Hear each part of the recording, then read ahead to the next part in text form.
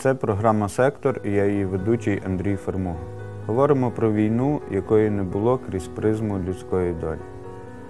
Сьогодні в мене в гостях Володимир Глизнер, позивний Лесик, боєць 128-ї гірсько-піхотної бригади. Вітаю, друже. Доброго дня.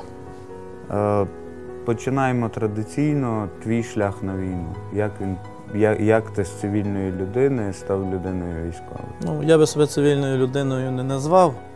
Просто свого часу я пішов на строкову службу, після строкової служби був, підписав контракт і якраз перед Майданом був звільнений з лав Збройних сил.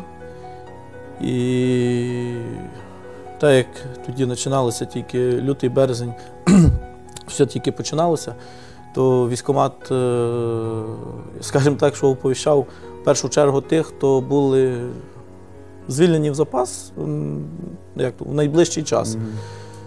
І цивільну людину себе за що я кажу, що не можу назвати. Прийшовши комісію в квітні місяці, вже в червні я потрапив в збройне формування. А е, ну, спочатку було якісь навчання на полігоні чи Е? Ну, я спершу, скажімо так, потрапив в батальйон е, Прикарпаття, 5-й батальйон ТРОшний. Після славнозвісних подій, які з ним сталися, і ми були, виявили бажання продовжити нашу службу і перевелися в 128-му окрему гірсько-штурмову бригаду на сьогоднішній день, в 15-й окремий гірсько-штурмовий батальйон. Тоді ще ним командував Зубаниш Василь Іванович. І в даному виборі ми не помилилися, так як е, нас на той час з Франківська місцевих, я би сказав, що батальйон був укомплектований на 50% франківцями, а може і більше, десь 70, можливо, і відсотків. Давай повернемось до батальйону тероборони, який має таку різну славу. Е, Ти як очевидець тих е, подій, як учасник того батальйону, що можеш сказати, на чиїй стороні правда? Я можу сказати дві речі. Перша реч те, що на той час командир батальйону Комар зробив правильно, що вивів батальйон. Е, Якби він цього не зробив, частина була б загиблих, частина ранених, інші були б в пліну. Е, Там, де ми знаходилися, е, нам неможливо було звітом вийти. Ще би, можливо, якась доба, і весь батальйон би опинився в котлі. Наші останні, хто виходили з батальйону, виїжджали, допалювали техніку, наші склади, бо ми не могли все забрати. У нас половину техніки, скажімо, що вийшло було зі ну, як то, Зі складів? е, не була рухомою.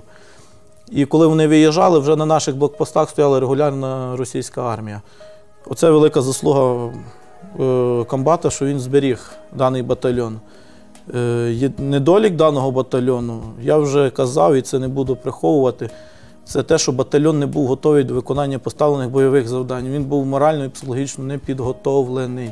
Чи правда, що я чув від хлопців, що в принципі, коли вони йшли в батальйон, їм казали, що його задачею буде власне охорона об'єктів, важливих об'єктів стратегічних на території нашої області, і про АТО навіть ніхто і не планував. Е, Я за це говорити не буду. Я попав у батальйон аж в червні. Вже коли батальйон був майже сформований. Що їм обіцяли і говорили, не знаю, але знаю точно, що один раз за мене, коли поступила команда вибути в зону бойових дій на третю лінію охорони, на, щоб стояти на блокпостах, бат, е, частина батальйону відмовилася, аргументуючи це тим, що в них немає касок і е, бронежилетів. І це справді так було. Е, Це так було, але я як людина трошки військова, і там гражданських відсотків 80 було, вони не мали поняття, що таке є бронежилет і каска, і там в бронежилеті і касці тих 80% не ходило. Ось в чому різниця. Реально там каска, бронежилет валялися збоку. І перед тим, як вже я цей раз був, казали, що знову було до їм надавали, був наказ вибути в зону проведення антитерористичної операції на третю лінію оборони для охорони блокпостів. Я цього не знаю, я не застав. Але раз, коли вибула команда, відмовилися, аргументуючи, що немає бронь, ну, бронежилета і касок, реально це була правда на той час. Ну, третій раз вже попали, куди попали, вибачайте. Вам два рази пропонували, ви відмовилися. Ну чи дійсно було так, що Батальйон був озброєний тільки стрілецькою зброєю. Власне, нічого важкого не було, а противник вже використовував і бронетехніку, і, і артилерію.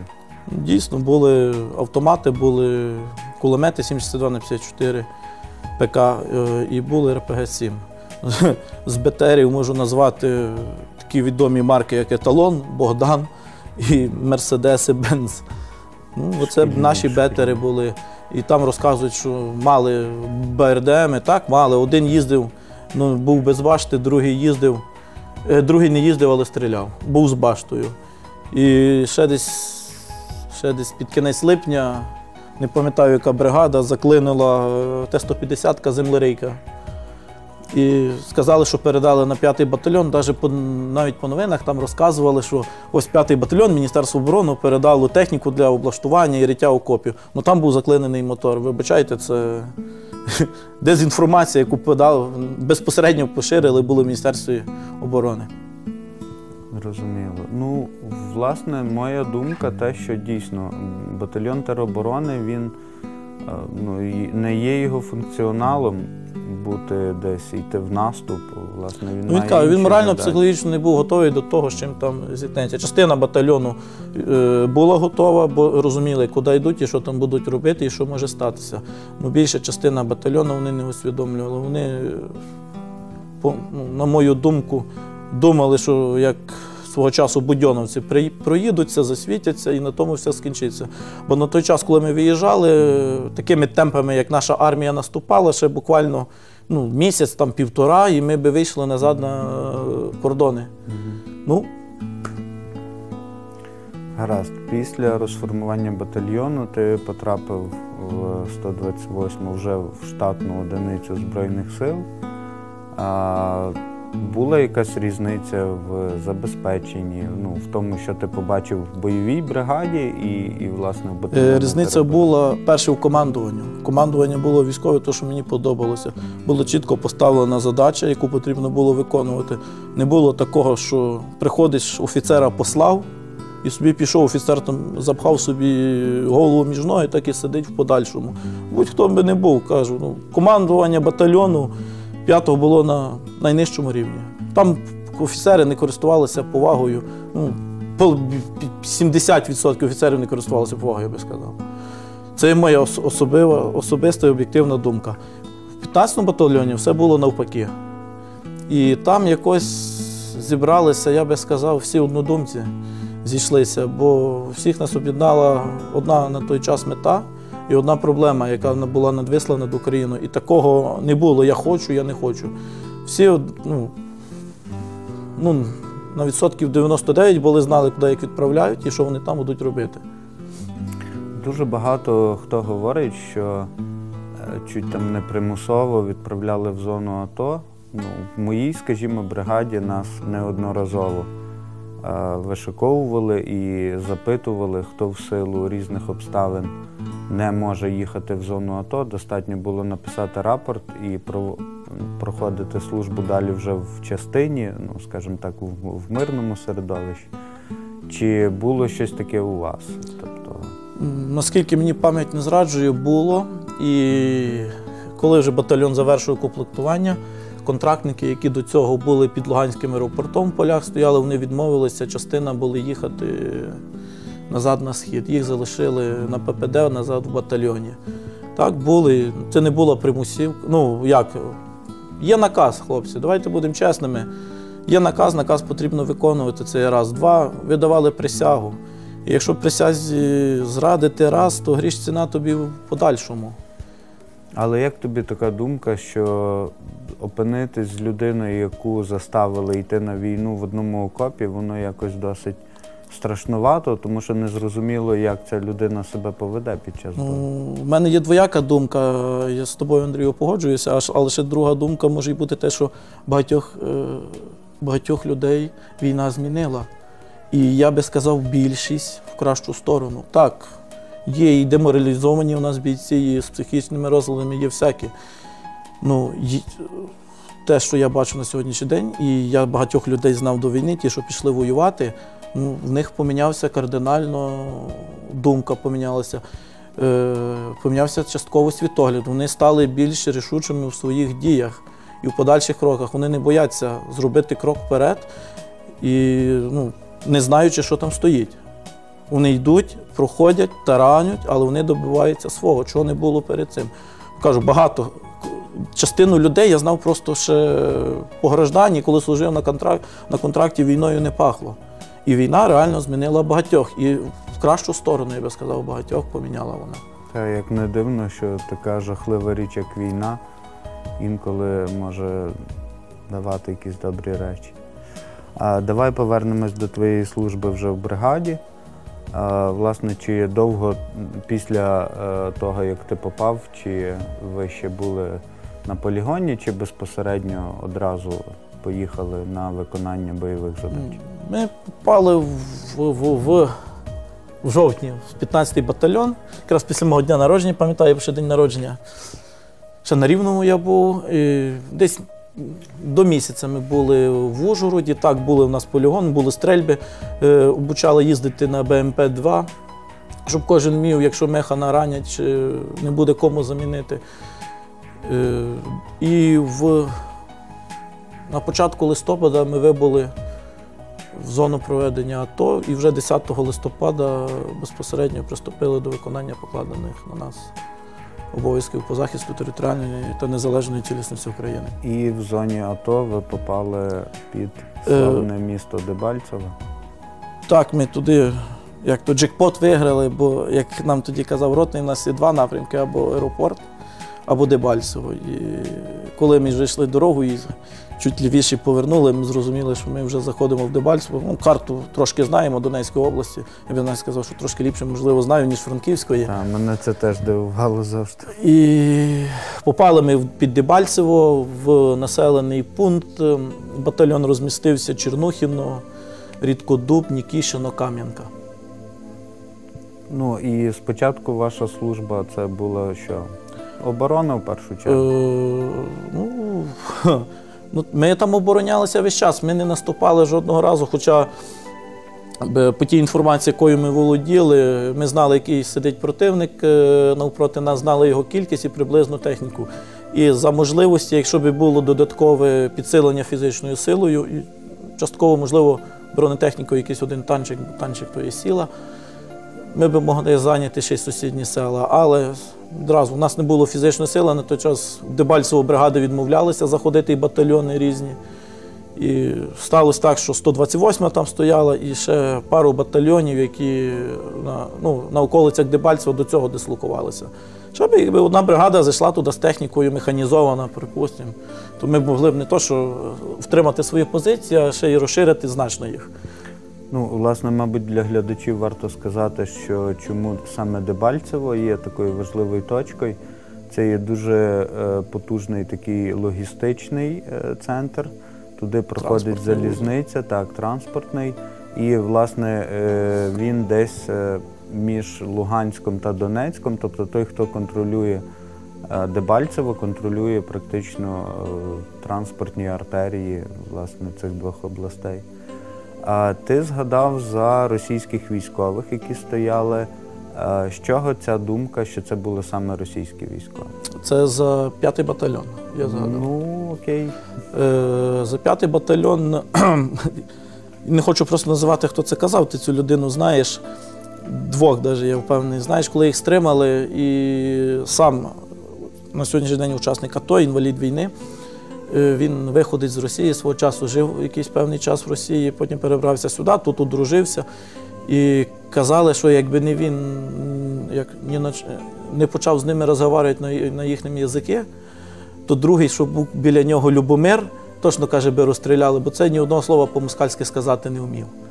Угу. Це є. Тобто це були люди, які Це навіть була не строкова служба. розуміли. Це була строкова мови. служба, вони стримали нашу машину, були, машина була на польських номерах.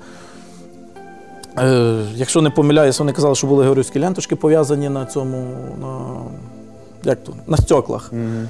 І за рахунок того, що цей почав навісати, е, типу, де здесь укропи, ми їх преслідуємо. І вони їх пропустили, каже, що вони навіть документи не зобразили перевірити, хто такі є. А за Дебальцево скажу, Бувало, коли на блокпост заїжджали в Чорнухіну, сепари на машинах ловили. Бувало, що ми жмурів трохи, документи вибирали, збирали, і були в нас виходці, скажімо так, із Кавказу, із Уралу, із Санкт-Петербурга, із Ростова на Дону. Ну і місні були, також наші паспорти мали. Е, Жодного там, де ми стояли на блокпостах, з тих, що в нас були 200 з тої сторони, у нас не, ми військових квитків не познаходили в них. Були паспорта громадян Росії, цього не, не, не приховую, були, кажу, чеченські паспорта і були наші з нашими паспортами. А, Ви стояли там тривалий час, і чи от коли вже почався штурм Дебальцево, це ж не за одну годину, не за один день, це потребує певної підготовки. Власне, чи відчувалось те, що е, ситуація якимось чином ускладнюється? Тобі, як людині, яка там була всередині? Е, Відчувалася ситуація, що ускладнюється. Десь це були. Почався лютий був, е, коли деякі військові, скажімо так, яких зараз трошки возвеличують, здали Логвиново і втекли з Логвиного на Артемовськ. Називаємо все своїми іменами, хлопці, це є війна. І коли закрилося Логвиново, коли розстріляли наших там бійців 128-ї бригади, в тому числі наш хлопчина є з Долинського району, який тоді вивозив славнозвісного горе народного депутата Сіменченка, який кричив, що він умирає ранений. Ну там така рана була, що стидно було називати її раною царапинка. Можливо, можливо, і десь царапнувся до травички був. Відчувалося в першу чергу це було в боєприпасах. У нас була своя мінометка, і мінометка непогано працювала по координатах, які ми задавали.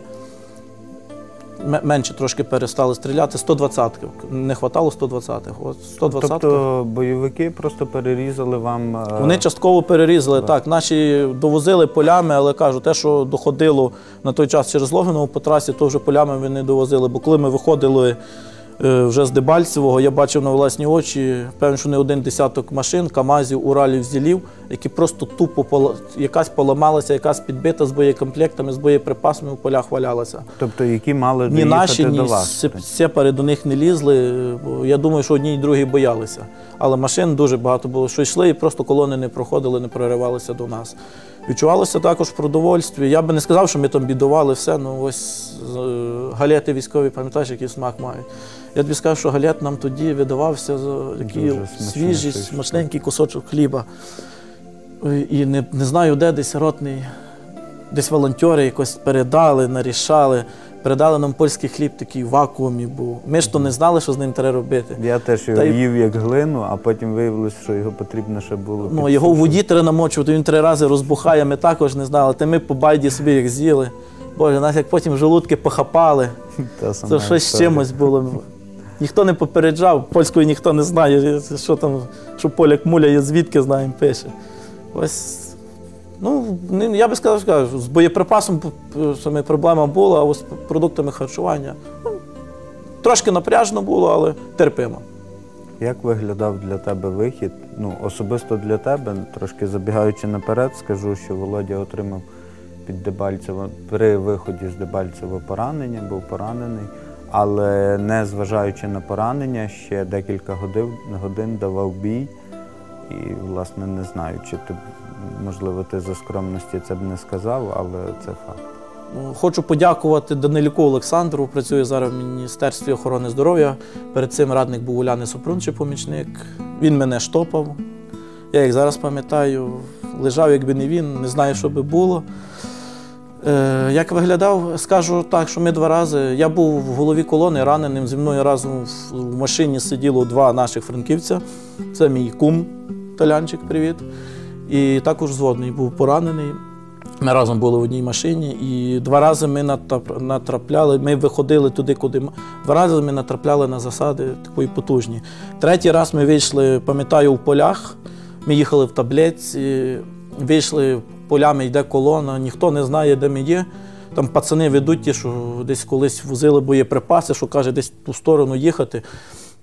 І тут взрив черговий біля таблетки, і нам відірвало кардан. Машина стала. Коротше, ми почали вискакувати, хто куди би, хто, хоч хтось підібрав. І мене підібрали на джіпі Не знаю хто, але думаю, швидше за все, що спецура МВСу.